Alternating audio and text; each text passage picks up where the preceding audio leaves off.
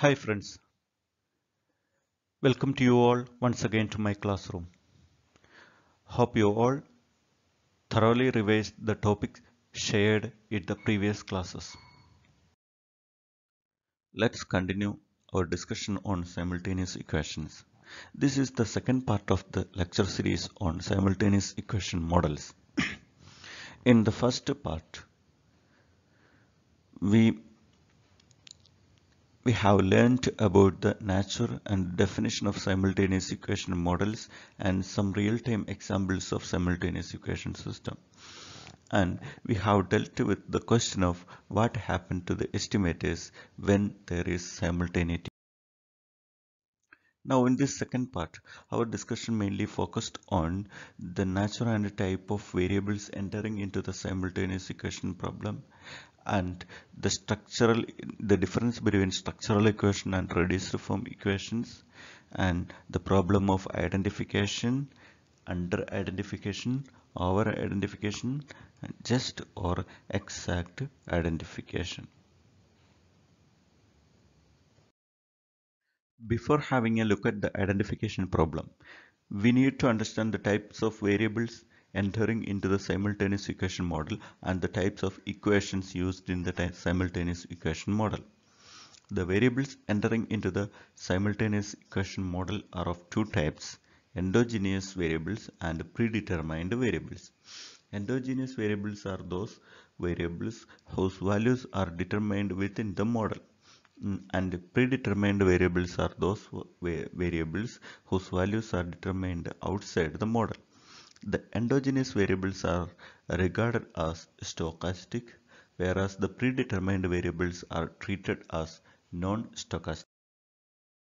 The predetermined variables are divided into two categories, exogenous variables and lagged endogenous variables. Exogenous variables uh, are divided again divided into two, current exogenous variables and lagged exogenous variables. Thus, x1 is a current, x1t is a current present time exogenous variables, whereas x1 t minus 1 is a lagged exogenous variable with a lag of one time period. y t minus 1 is a lagged endogenous variable with a lag of one time period.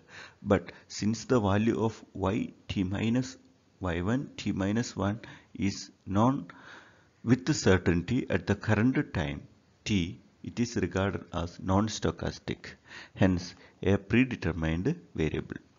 In short, current exogenous, lagged exogenous and lagged endogenous variables are deemed to be predetermined variables. Their values are not determined by the by this model in the current time period. Although the non-economic variables such as temperature and rainfall are clearly exogenous or predetermined. The model builder must exercise great care in classifying economic variables as endogenous and or predetermined. He or she must defend the classification on a priori, on a priori or theoretical grounds. This flowchart gives a summary of the type of variables entering into the simultaneous equation system. That is, variables entering into a simultaneous equations are of two types, endogenous variable and predetermined variable.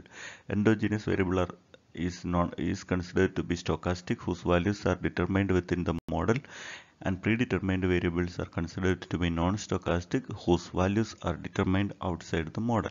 Predetermined variable are again classified into two, exogenous variable and a lagged endogenous variable. Exogenous variables are also classified into current exogenous and lagged exogenous variable. In econometrics, the structural equations or the structural econometric models are constructed purely based upon economic theory, which can be developed through some combinations of observed economic behaviors, knowledge of the policy that influences economic behavior, or technical knowledge. We cannot use these structural equations as such because of simultaneity and identification problem.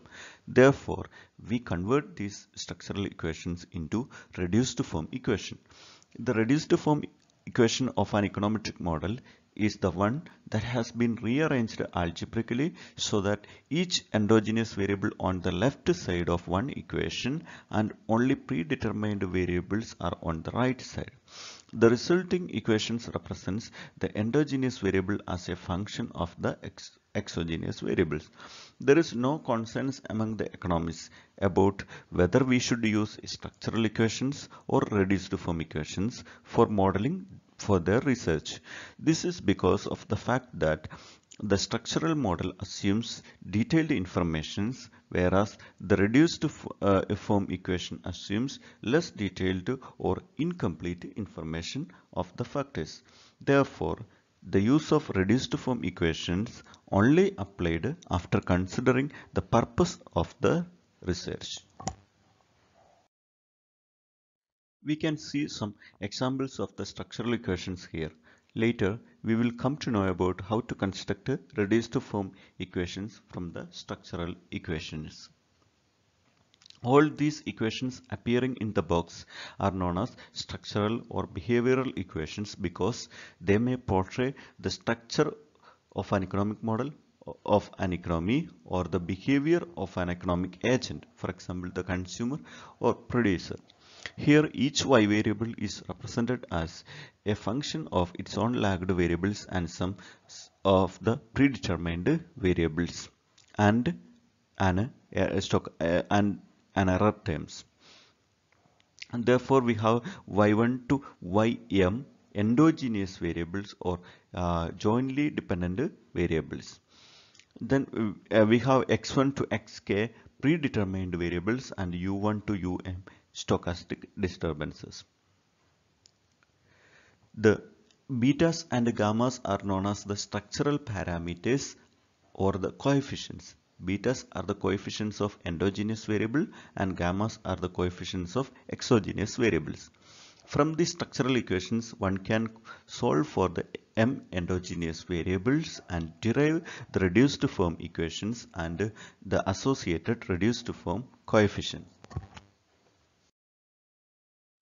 As we have seen earlier, a reduced form equation is the one that expresses an endogenous variable solely as a function of the predetermined variables and the stochastic disturbances. To illustrate this, consider the Keynesian model of income determination. Consumption function Ct is equal to beta 0 plus beta 1 yt plus ut and the income identity yt is equal to Ct plus it. So in this model, Consumption and income are the endogenous variable and the investment, exp ex investment expenditure is treated as an exogenous variable. Both these equations are structural equations. Yt is equal to Ct plus It is the national income identity. The beta 1 is the slope of the consumption function. As you know, it is the MPC, marginal propensity to consume. Beta 1 is assumed to lie between 0 and 1. If equation 2 that is uh, the national income identity is substituted into the consumption function we obtain after some simple algebraic manipulation we obtain yt is equal to beta 0 divided by 1 minus beta 1 plus 1 divided by 1 minus beta 1 it plus 1 divided by 1 minus beta 1 into ut. The derivation is given in the text box. Text box.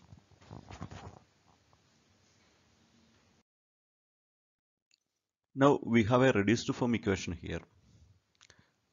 yt is equal to pi 0 plus pi 1 it plus wt. It expresses the endogenous variable y solely as a function of the exogenous or predetermined variable i and the stochastic disturbance term u. Pi 0 and pi 1 are the associated reduced form coefficients. Notice that these reduced form coefficients are nonlinear combinations of the structural coefficients. Substituting the value of y from equation 2 into the consumption function, we obtain another reduced form equation. Ct is equal to pi 0 plus pi 1 it plus wt. The derivation of this reduced form equation is also provided in the text box here. The reduced form coefficients such as pi1 and pi2 are known as impact or short-run multipliers because they measure the immediate impact on the endogenous variable of a unit change in, in the value of the exogenous variable. If in the preceding Keynesian model the investment expenditure is increased by rupees 1 and if the MPC is assumed to be 0.8 then we obtain pi 1 is equal to 5. This result means that increasing the investment by rupees 1 will immediately lead to an increasing income of rupees 5 that is a five-fold increase. Similarly, under the assumed conditions, we, uh, we obtain pi 2 is equal to 4, meaning that rupees 1 increase in the investment expenditure will lead immediately to rupees 4 increase in the consumption expenditure. In the context of econometric models, equations such as yt is equal to ct plus it or quantity demanded is equal to quantity supplied is known as the equilibrium conditions. When equilibrium is achieved, the endogenous variables assumes their equilibrium values. Since only the predetermined variables are assumed to be uncorrelated with the disturbance terms, the OLS method can be applied to estimate the coefficients of the reduced form equations. From the estimated reduced form coefficients, one may estimate the structural coefficients. This procedure is known as indirect least squares and the estimated structural coefficients are called indirect least square estimates. Since the reduced form coefficients can be estimated by OLS method, and since these coefficients are combinations of the structural coefficients, the possibility exists that the structural coefficients can be retrieved from the reduced form coefficients. How does one retrieve the structural coefficients from the reduced to form coefficients? The answer that brings out the heart of the identification problem. Let us come to the identification problem through one simple example. Let's see a market data on, on a particular commodity bought and sold at the prevailing price. The quantity bought is identical to the quantity sold at any particular price. The market data shows the point of intersection of equilibrium supply and demand at the price prevailing in the market at a certain point of time.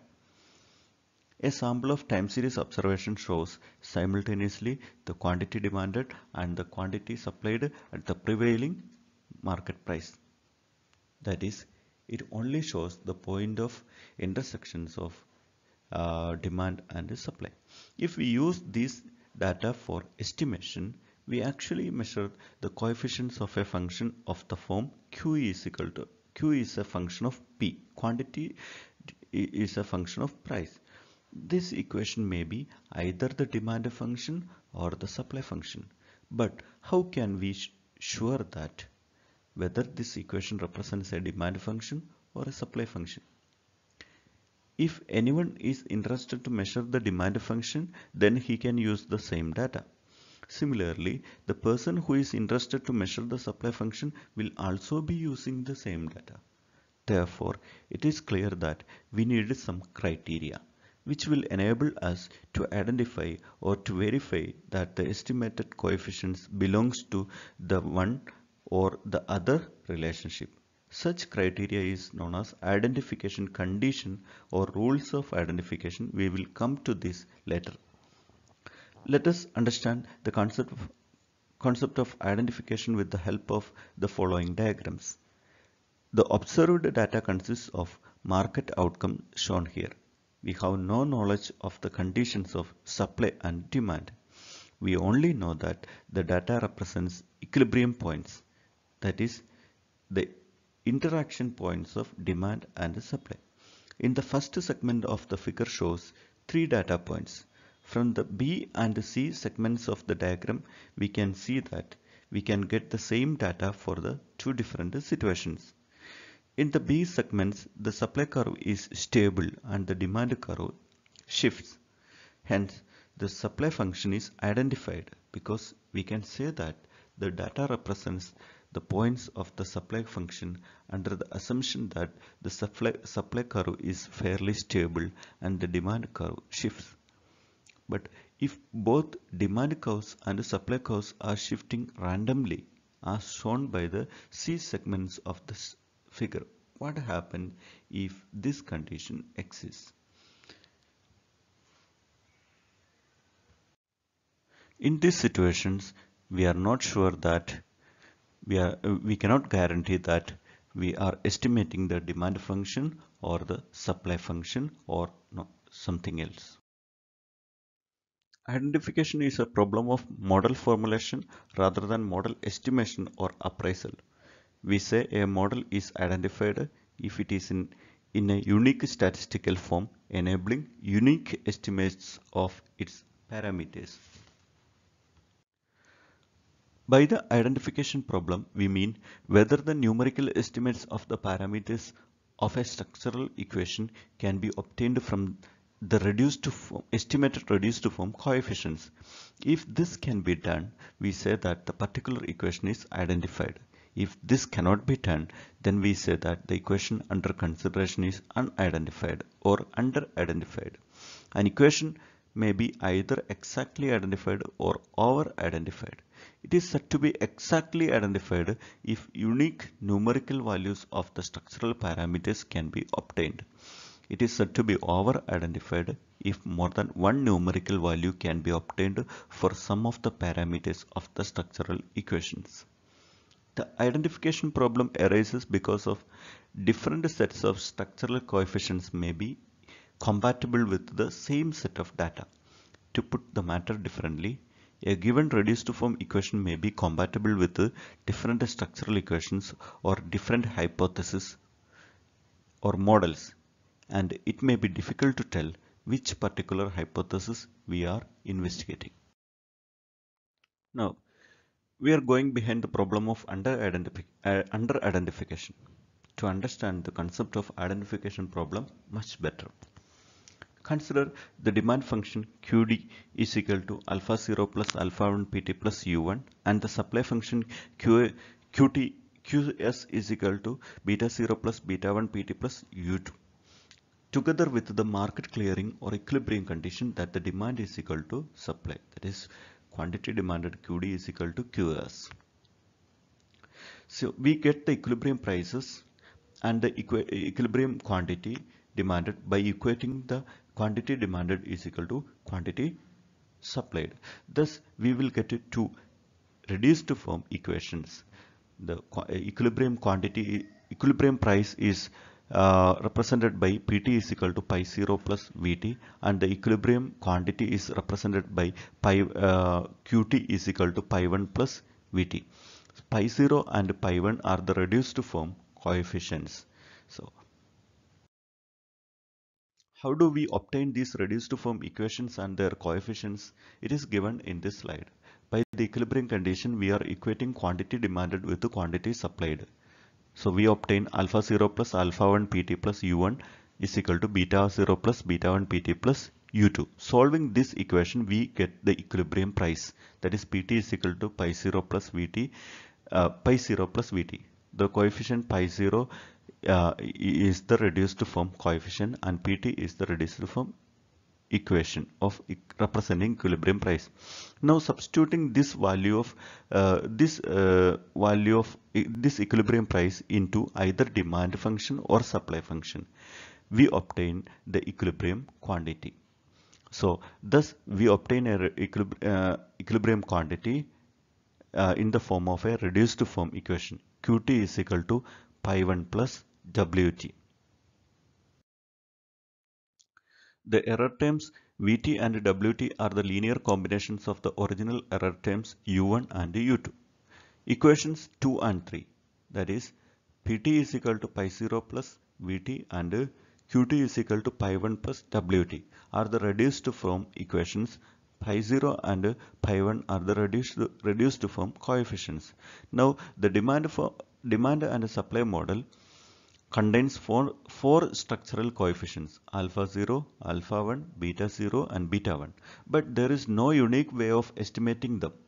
These reduced form coefficients contain all four structural parameters but there is no way in which the four structural unknowns can be estimated from the from only two reduced form coefficients. To estimate four unknowns we must have four independent equations.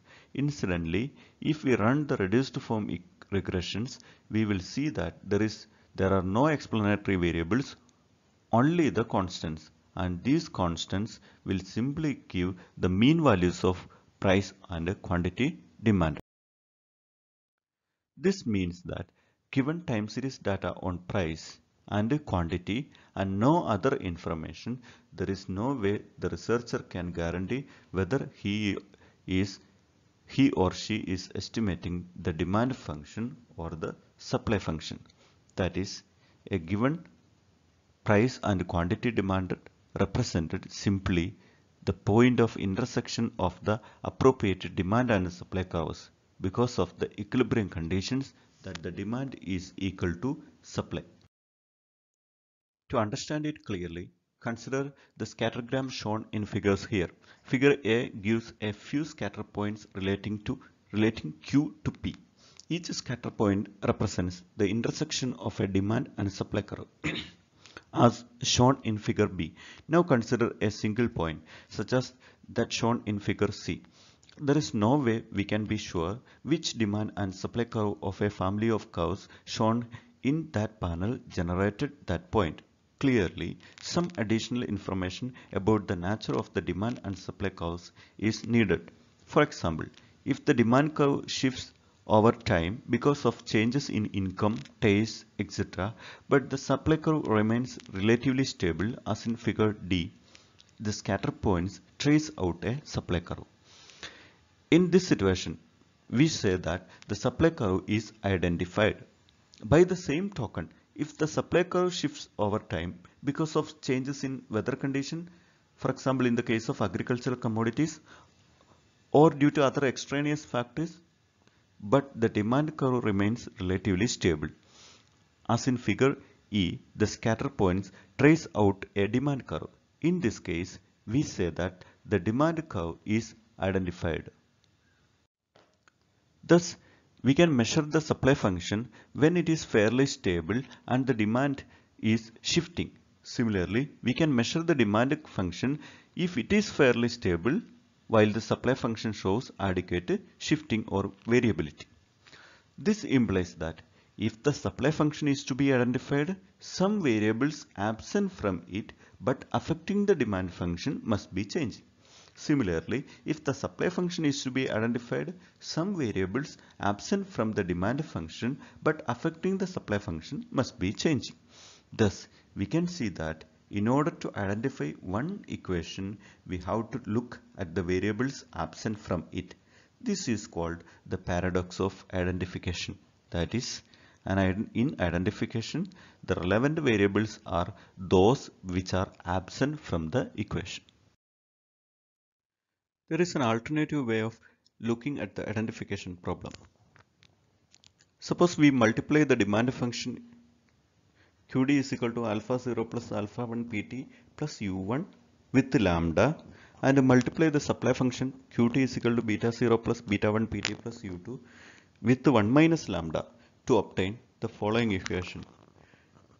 Lambda qt lambda qt is equal to lambda alpha 0 plus lambda alpha 1 pt plus lambda u1. 1 minus lambda into qt is equal to 1 minus lambda beta 0 plus 1 minus lambda into beta p, beta 1 pt plus 1 minus lambda into u2. So adding these two equations gives a linear combination of the original demand and supply function equation in the form qt is equal to lambda 0 plus lambda 1 pt plus wt. So Qt is equal to lambda 0 plus lambda 1 Pt plus Wt. This equation is called a bogus or mongrel equation. So the coefficients lambda 0 and lambda 1 are given in the right side. The derivation is also shown here. So the equation obtained qt is equal to lambda 0 plus lambda 1 pt plus wt is called Bogus equation or Mongrel equation and this equation is observationally indistinguishable from the original demand and supply equation because they involve they also inv involve the regression of q and p. A mongrel relation or a bogus relation which is some mixture between the supply and demand functions. Therefore, if we have time series data on P and Q only, any of the demand function demand function qt is equal to alpha 0 plus alpha 1 pt plus u1 or supply function qt is equal to uh, beta 0 plus beta 1 pt plus u2 or the mongrel relation qt is equal to lambda 0 plus lambda 1 pt plus wt may be all the three may be compatible with the same data. In other words, the same data may be compatible with all these three hypotheses and there is no way we can tell which one of these hypotheses we are testing. That is, in no way we can guarantee that whether we are estimating the demand function or the supply function or the bogus function that we just seen above.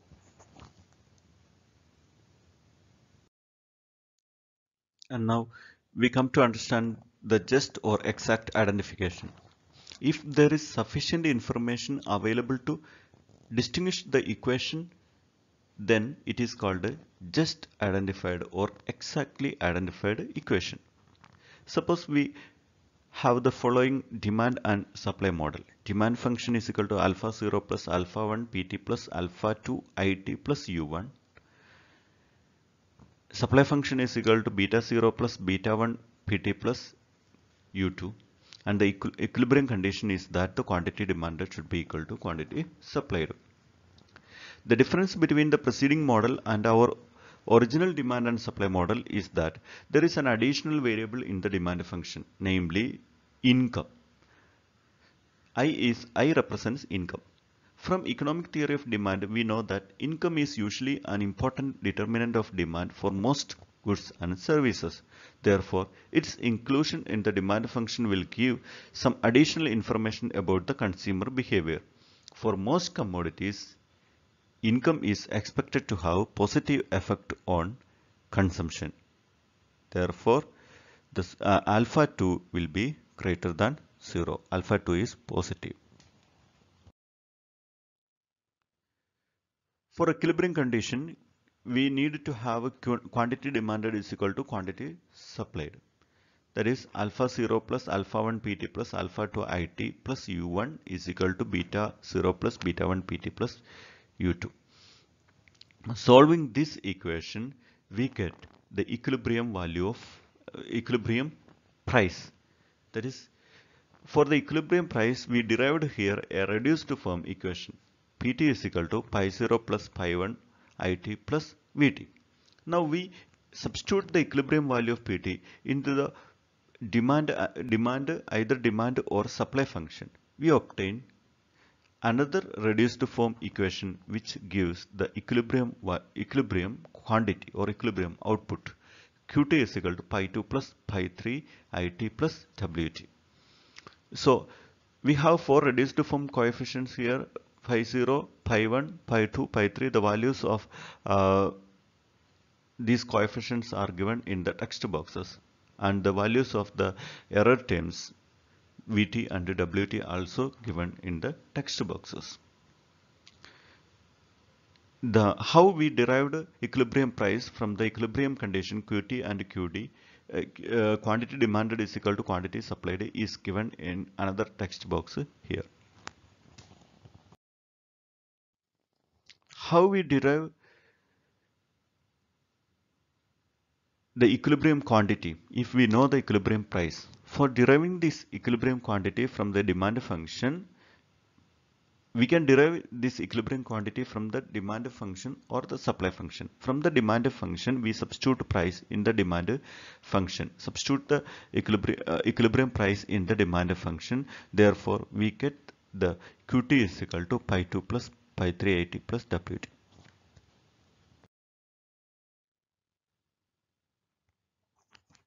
For deriving the equilibrium quantity from the supply function, here also we insert the equilibrium price into the supply function. We get the equilibrium quantity Qt is equal to pi 2 plus pi 380 plus Wt.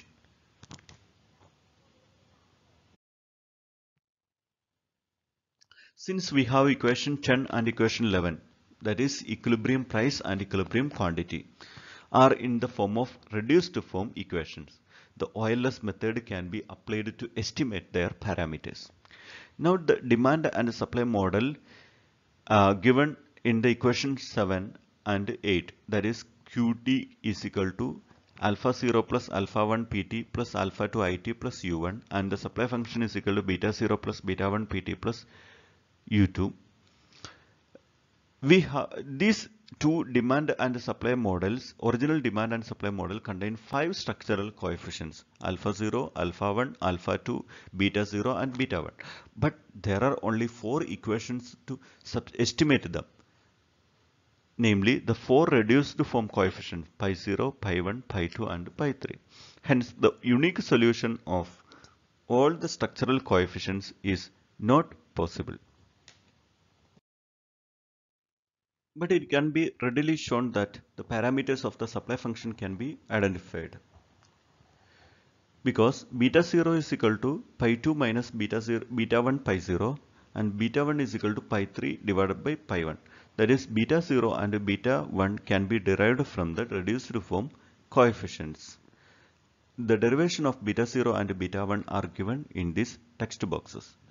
But we need to understand this there is no unique way of estimating the parameters of the demand function. Therefore, demand function remains under identified.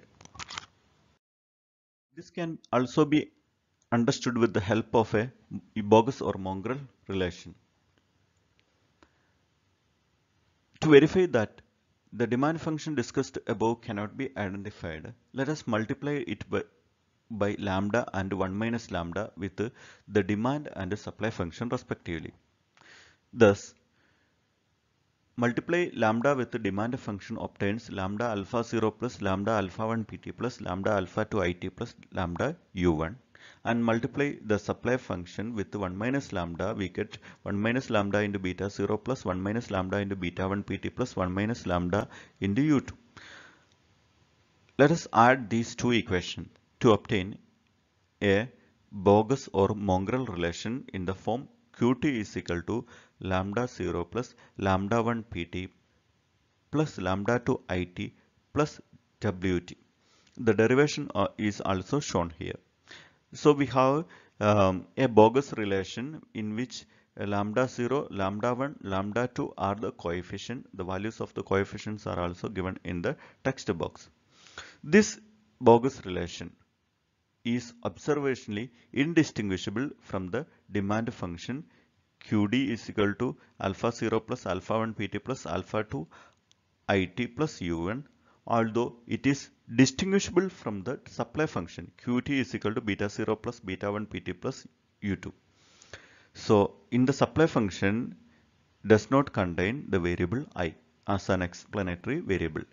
Hence the demand function remain unidentified The presence of an additional variable in the demand function enable us to identify the supply function. The inclusion of the income variable in the demand function provide us some additional information about the variability of the function as indicated by the figure. It shows how the intersection of the stable supply curve with the shifting demand curve on account of the changes in income enable us to trace or identify the supply curve. Very often the identifiability of an equation depends on whether it excludes one or more variables that are included in other equations in the model. But suppose we consider the following demand and supply model where demand function is equal to alpha 0 plus alpha 1 pt plus alpha 2 it plus u1 and the supply function is equal to beta 0 plus beta 1 pt plus beta 2 pt minus 1 plus u2 where the demand function remain as before but the supply function includes an additional explanatory variable price lagged by one time period. The supply function postulates that the quantity of a commodity supplied depends on its current and previous period's price, a model often used to explain the supply of many agricultural commodities. Note that the pt minus 1 is a predetermined variable because its value is known at a time t. By the market clearing mechanism, we have quantity demanded is equal to quantity supplied. Therefore, alpha 0 plus alpha 1 pt plus alpha 2 it plus u1 is equal to beta 0 plus beta 1 pt plus beta 2 pt minus 1 plus u2. Solving this equation, we obtain the following reduced to form equation pt is equal to pi 0 plus pi 1 it plus pi 2 pt minus 1 plus vt. This reduced form equation shows the equilibrium price. Substituting this equilibrium price into the demand or supply equation, we obtain corresponding equilibrium quantity in the form of a reduced form equation qt is equal to pi 3 plus pi 4 it plus pi 5 pt minus 1 plus wt. I have given the reduced form coefficients in the text box here. From the previous examples, you got a clear picture on how to derive these equations so that I have not supplemented the derivations here. This is an exercise for you. Kindly do the derivations yourself. The demand and supply model given in these equations contains six structural coefficients alpha 0, alpha 1, alpha 2, beta 0, beta 1 and beta 2 and there are six reduced form coefficients pi 0, pi 1, pi 2, pi 3, pi 4 and pi 5 to, est to estimate them. Thus we have six equations in six unknowns and normally we would be able to uh, we should be able to obtain unique estimates.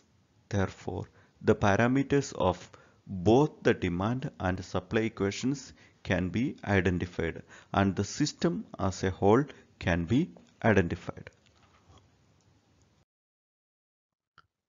To check the preceding demand and supply functions are identified, we can also resort to the device of multiplying the demand equation by lambda and the supply equation by 1 minus lambda and adding them to obtain a mongrel equation. This mongrel equation will contain both the predetermined variable it and pt minus 1. Hence, it will be observationally different from the demand as well as supply function because the former does not contain pt minus 1 and the latter does not contain it. So, the proof of this equation is also not shown here. Therefore, this is also an exercise for you. If there is more than sufficient information is available to distinguish the equation, then the equation is called over-identified. For certain goods and services, income as well as wealth of the consumer is an important determinant of demand.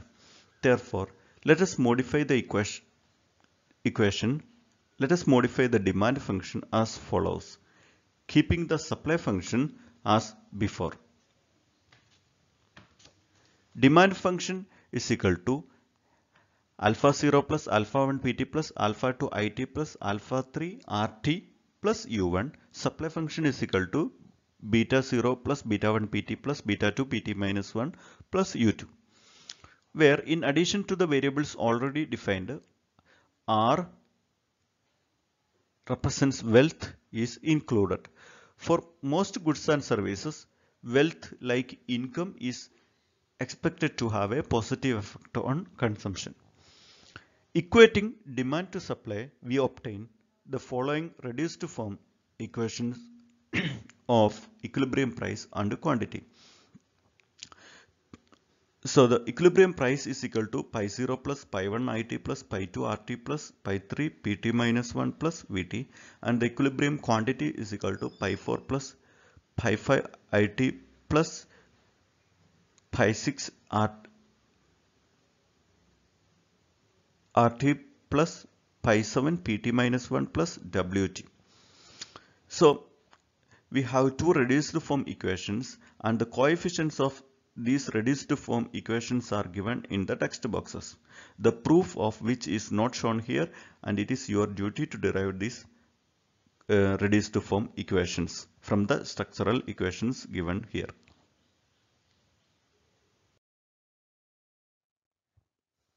The preceding demand and supply model contains seven structural coefficients. But there are eight equations to estimate them the 8 reduced to form coefficients given in the box. That is, the number of equations is greater than the number of unknowns. As a result, unique estimation of all the parameters of our model is not possible, which can be shown easily.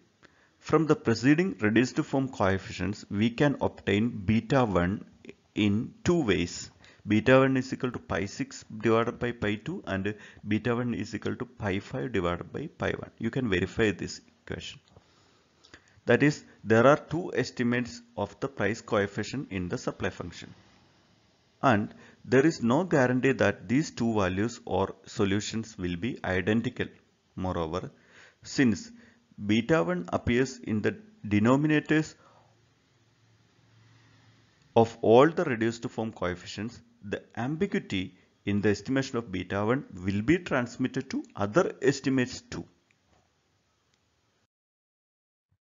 Thus, we have two examples here. The demand function in the first example is equal to alpha 0 plus alpha 1 pt plus alpha 2 it plus u1 and the demand function in the second example is equal to alpha 0 plus alpha 1 pt plus alpha 2 it plus alpha 3 rt plus u1. But the supply function in both examples remain the same. Therefore, the supply function in the therefore the supply function in the first case is identified and the supply function in the second play, uh, second case is not identified. The reason is that we have too much or over sufficiency of information to identify the supply curve. This situation is the opposite of the case of under identification, where there is too little information. The oversufficiency of information results from the fact that in the former system, the exclusion of the income variable from the supply function was not to identify it. But in the latter system, the supply function excludes not only the income variable, but also the wealth variable. In other words, in the latter model, we put too many restrictions on the supply function by requiring it to exclude more variables than necessary to identify it. The major difference between under and over identification is that in the former case, it is impossible to obtain estimates of the structural parameters, whereas in the latter case, there may be several estimates of one or more structural coefficients. Let us conclude this discussion by pointing out the implications of identification. Identification is closely related to the estimation. If an equation is to be if an equation is identified, its coefficients can in general be statistically estimated. In particular, if the equation is exactly identified, the appropriate method to be used for its estimation is the method of indirect least squares. If the equation is over identified, indirect least squares cannot be applied because it will not yield unique estimates of the structural parameters. There are various other met methods which can be used in this case. For example, two-stage least square methods or maximum likelihood methods.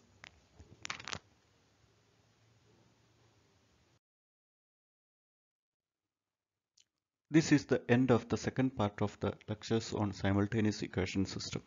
As I told you earlier, we have two more lectures to go. Kindly wait for my next video on the rules of identification. If you have any feedback or queries, please contact. Thank you.